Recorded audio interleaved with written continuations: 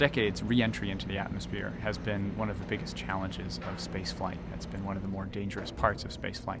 And the big innovation that Scaled and Burt Rutan came up with was this idea to feather the aircraft into, um, into the atmosphere um, so that the pilot could literally take his hands off the controls and it would stably enter um, because of the aerodynamic forces on the vehicle.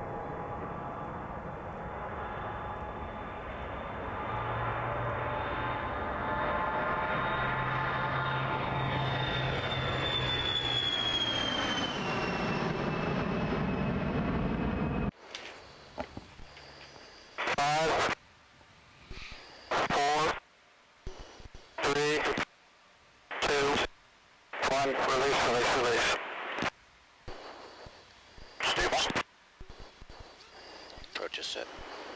Weather unlock. Stops look good. Roger that. Unlocking. Locks are moving. Okay. Slow. Looks like we're go to feather. Unlocked. Roger Good. that. Unlock indications. Still low regulator pressure on the left-hand side. Stand by for feather. Go for feather. And uh, spaceship from base uh, cleared for feather. Copy cleared for feather. Feather up.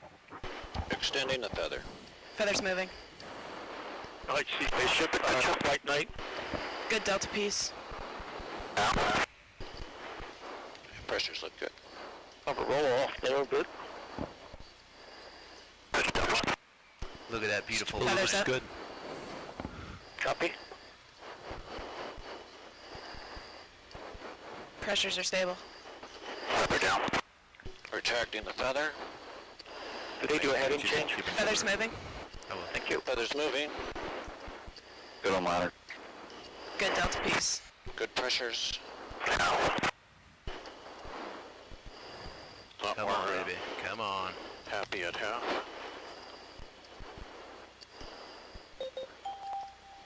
Okay to lock. Okay to lock. Locking. Locks are moving. Feathers locked.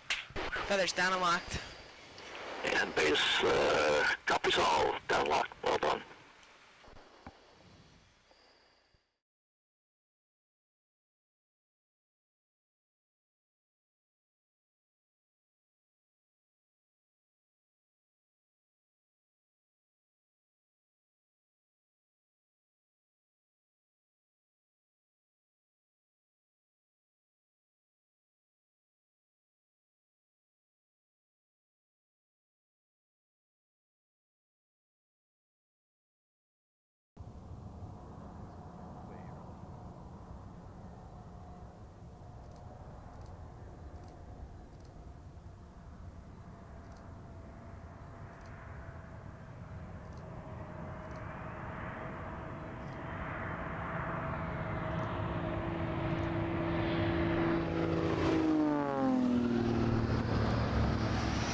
It was a really major milestone for the test flight program. We had our first feathered flight today, and it's just a great day for both Scaled and for Virgin Galactic.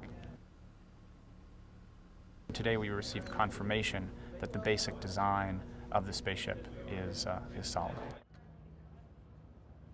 So awesome day. We we finally kind of gone the next increment in our program. We've gone out and feathered the airplane, which means we went up to altitude, dropped it, uh, folded it in half, and uh, the airplane didn't do anything bizarre. Didn't turn upside down.